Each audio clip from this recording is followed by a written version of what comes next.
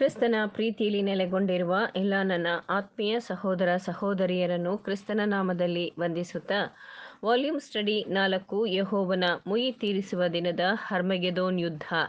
ಅಧ್ಯಾಯ ಮೂರು, ಮುಯಿ ತೀರಿಸುವ ದಿನದ ಅಗತ್ಯತೆ ಮತ್ತು ನ್ಯಾಯ ವಿಚಾರಣೆ, ಪುಟ ಮೂವತ್ತೊಂಬತ್ತು. ಇಲ್ಲಿ ತೋರಿಸಿರುವಂತೆ ಅನ್ಯ ದೇಶಗಳವರು ಬಹಳ ಕಾಲದ ಹಿಂದೆ ಭೂಲೋಕದ ಬಗ್ಗೆ ಹಾಗೂ ದೇವರ ಬಗ್ಗೆ ತಿಳಿದಿದ್ದ ಸತ್ಯವನ್ನು, ನೀತಿವಂತಿಕೆಯನ್ನು ಅಡಗಿಸುವವರು, ಬೆಳಕಿಗೆ ಬದಲಾಗಿ ಅಂಧಕಾರವನ್ನು ಹೆಚ್ಚು ಇಷ್ಟಪಡುವವರೂ ಆಗಿದ್ದಾರೆ. ಯಾಕೆಂದರೆ ಅವರ ಕಾರ್ಯಗಳು ಕೆಟ್ಟವುಗಳಾಗಿವೆ ಮತ್ತು ಆ ಕೆಟ್ಟತನದಿಂದ ಮತ್ತು ವ್ಯರ್ಥವಾದ ಊಹನೆಗಳಿಂದ ತಪ್ಪಾದ ಧರ್ಮಗಳನ್ನು ಕಂಡುಹಿಡಿದು ತಮ್ಮ ಕೆಡುಕಾದ ಮಾರ್ಗಗಳನ್ನು ಸಮರ್ಥಿಸಿಕೊಂಡಿದ್ದಾರೆ. ಅದೇ ಸಮಯದಲ್ಲಿ ಮುಂಬರುವ ಜನಾಂಗದವರು ತಮ್ಮ ಪಿತೃಗಳ ತಪ್ಪು ಕ್ರಮವನ್ನು ಅವರ ಸಿದ್ಧಾಂತಗಳಿಗೆ ಒಪ್ಪಿಗೆ ಸೂಚಿಸುವುದರ ಮೂಲಕ ದೃಢಪಡಿಸಿ ಸಮರ್ಥಿಸುವವರಾಗಿದ್ದು, ಅವರ ಹೆಜ್ಜೆ ಜಾಡಿನಲ್ಲಿ ನಡೆಯುವವರಾಗಿದ್ದಾರೆ. ಈ ರೀತಿಯಲ್ಲಿ ಅವರು ತಮ್ಮ ತಪ್ಪಿದಸ್ಥ ಶೇಖರಣೆ ಮತ್ತು ಖಂಡನೆಯನ್ನೂ ಸಹ ಅದೇ ತತ್ವದ ಮೇಲೆ ಊಹಿಸಿಕೊಳ್ಳುವುದರಿಂದ ಪ್ರಸ್ತುತ ಕ್ರೈಸ್ತ ಪ್ರಪಂಚದ ರಾಷ್ಟ್ರಗಳು ತಮ್ಮ ಹಿಂದಿನ ಪೀಳಿಗೆಯ ಜವಾಬ್ದಾರಿಗಳನ್ನು ಸಹ ಪಡೆದುಕೊಳ್ಳುತ್ತವೆ. ಏಸು ಕ್ರಿಸ್ತನ ಮೂಲಕ ಜಗತ್ತಿಗೆ ಒಂದು ಮಹಾನ್ ಬೆಳಕು ಬಂದಿದೆ ಎಂಬ ಅಂಶವನ್ನು ಅನ್ಯ ಜನಾಂಗಗಳು ಇನ್ನೂ ಸಂಪೂರ್ಣವಾಗಿ ನಿರ್ಲಕ್ಷಿಸಿರುವುದಿಲ್ಲ.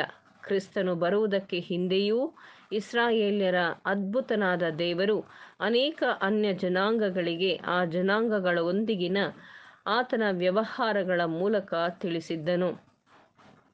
ಸುವಾರ್ಥ ಯುಗದಲ್ಲೆಲ್ಲ ದೇವರ ಸಂತರುಗಳು ವಿದೇಶಗಳಲ್ಲಿ ಆತನ ಶುಭ ಸಮಾಚಾರವನ್ನು ಸ್ಥಳದಿಂದ ಸ್ಥಳಕ್ಕೆ ಒಯ್ಯುತ್ತಿದ್ದಾರೆ. ಇಲ್ಲಿ ಅಲ್ಲಿ ಕೆಲವು ವ್ಯಕ್ತಿಗಳು ಸತ್ಯವನ್ನು ಗಮನಿಸಿದ್ದಾರೆ. ಆದರೆ ದೇಶಗಳು ಸಾಮಾನ್ಯವಾಗಿ ಅದನ್ನು ತಾತ್ಸಾರ ಮಾಡಿ ಕತ್ತಲೆಯಲ್ಲಿಯೇ ನಡೆದಿವೆ. ಆದುದರಿಂದ ದೇವರ ಕೋಪವು ಎಲ್ಲ ದೇಶಗಳವರ ಮೇಲೆ ಇದೆ. ಏಷಾಯ ಮೂವತ್ನಾಲ್ಕು ಎರಡು. ಅನ್ಯ ದೇಶಗಳು ಈಗ ಸುವಾರ್ತೆ ಮತ್ತು ಅದರ ಸವಲತ್ತುಗಳಿಲ್ಲದೆ ಮುಂದುವರೆದ ಅಧಿಕಾರದ ಗುತ್ತಿಗೆಗೆ ಅನರ್ಹರೆಂದು ನಿರ್ಣಯಿಸಲ್ಪಟ್ಟಿವೆ. ಕ್ರೈಸ್ತ ರಾಷ್ಟ್ರಗಳೆಂದು ಕರೆಯಲ್ಪಡುವವರು ಸುವಾರ್ತೆಯ ಬೆಳಕು ಮತ್ತು ಪ್ರಯೋಜನಗಳೊಂದಿಗೆ ಅವರು ಯೋಗ್ಯರಾಗಿ ನಡೆದುಕೊಳ್ಳದಿದ್ದರೂ ಸತ್ಯದ ಮತ್ತು ನೀತಿಯ ಮಾನದಂಡದಿಂದ ಅಧಿಕಾರದ ಮುಂದುವರಿವಿಕೆ ಅನರ್ಹರೆಂದು ತೀರ್ಮಾನಿಸಲಾಯಿತು. ಈ ರೀತಿಯಾಗಿ ಎಲ್ಲರ ಬಾಯಿಗಳು ಕಟ್ಟಿಹಾಕಲ್ಪಟ್ಟಿವೆ. ಲೋಕವೆಲ್ಲ ದೇವರ ಮುಂದೆ ಅಪರಾಧಿಯಾಗಿ ನಿಂತುಕೊಳ್ಳುತ್ತದೆ. ಎಲ್ಲ ದೇಶಗಳಲ್ಲಿ ತಿಳುವಳಿಕೆಯುಳ್ಳವರೂ ಇಲ್ಲ. ದೇವರನ್ನು ಹುಡುಕುವವರು ಇಲ್ಲ. ಎಲ್ಲರೂ ದಾರಿ ತಪ್ಪಿ ನಡೆಯುತ್ತಾರೆ. ಎಲ್ಲರೂ ಕೆಲಸಕ್ಕೆ ಬಾರದವರು. ಒಳ್ಳೆಯದನ್ನು ಮಾಡುವವನು ಇಲ್ಲ, ಒಬ್ಬನಾದರೂ ಇಲ್ಲ. ಎಲ್ಲ ದೇಶದವರನ್ನು ಶಿಕ್ಷಿಸುವ ದೇವರ ನ್ಯಾಯವು ಪ್ರಕಟವಾಗಿದೆ. ಅನ್ಯ ದೇಶಗಳವರು ತಮ್ಮ ಕಾರ್ಯಗಳಿಗೆ ನ್ಯಾಯೋಚಿತ ಬಹುಮಾನವನ್ನು ಪಡಕೊಳ್ಳುವಾಗ ತಮ್ಮ ಇನ್ನೂ ಹೆಚ್ಚಿನ ಜವಾಬ್ದಾರಿಯನ್ನು ಕ್ರೈಸ್ತ ಪ್ರಪಂಚದವರು ಮರೆಯದಿರಲಿ. ಏಕೆಂದರೆ ಯಹೂದ್ಯರು ಅನ್ಯ ಜನಾಂಗಗಳ ಮೇಲೆ ಎಲ್ಲ ರೀತಿಯಲ್ಲಿಯೂ ಹೆಚ್ಚಿನ ಪ್ರಯೋಜನವನ್ನು ಹೊಂದಿದ್ದಾರೆ.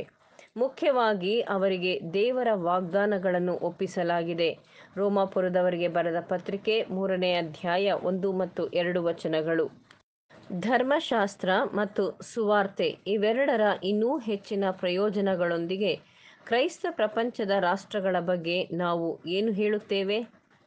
ಆಗ ಯಹೂದಿ ರಾಷ್ಟ್ರದಲ್ಲಿ ಅದರಂತೆ ಈಗ ಅವರ ಮೂಲಕ ದೇವರ ಹೆಸರನ್ನು ಅನ್ಯ ಜನರಲ್ಲಿ ನಿಂದಿಸಲಾಯಿತು. ರೋಮಾಪುರದವರಿಗೆ ಬರೆದ ಪತ್ರಿಕೆ ಎರಡನೇ ಅಧ್ಯಾಯ ಇಪ್ಪತ್ನಾಲ್ಕನೆಯ ವಚನ. ಉದಾಹರಣೆಗಾಗಿ ಕ್ರೈಸ್ತ ರಾಷ್ಟ್ರಗಳ ಚಿನ್ನದ ದುರಾಸೆಯಿಂದ ಅನ್ಯ ಜನಾಂಗಗಳ ಮೇಲೆ ಮಧ್ಯ ಮತ್ತು ಅಪೀಮು ಸಾಗಾಟವನ್ನು ಹೇರುವುದನ್ನು ಗಮನಿಸಿರಿ. ಒಬ್ಬ ವಿಶ್ವಾಸನೀಯ ಸಾಕ್ಷಿಯು ಸ್ವಲ್ಪ ಸಮಯದ ಹಿಂದೆ ತನ್ನ ಸ್ವಂತ ಜ್ಞಾನದಿಂದ ನ್ಯೂಯಾರ್ಕ್ ವಾಯ್ಸ್ ಪತ್ರಿಕೆಗೆ ಹೀಗೆ ಬರೆದಿದ್ದಾನೆ. ಕಾಂಗೋ ಮತ್ತು ವೆಸ್ಟ್ ಕೋಸ್ಟ್, ಅಂದರೆ ಆಫ್ರಿಕಾ ದೇಶವು ಇವುಗಳ ಬಗ್ಗೆ ತನ್ನ ಸ್ವಂತ ಅವಲೋಕನ ಪ್ರಕಾರ ಅನೇಕ ಮಿಷನರಿಗಳ ಮತ್ತಿತರ ಹೇಳಿಕೆಗಳ ಪ್ರಕಾರ ಇಂದಿನ ಮತ್ತು ಹಿಂದಿನ ಗುಲಾಮರ ಮಾರಾಟಕ್ಕಿಂತ ಹೆಚ್ಚಾಗಿ ಕುಡುಕತನವು ಸ್ಥಳೀಯರಿಗೆ ಹೆಚ್ಚಿನ ಹಾನಿಯನ್ನುಂಟು ಮಾಡುತ್ತಿದೆ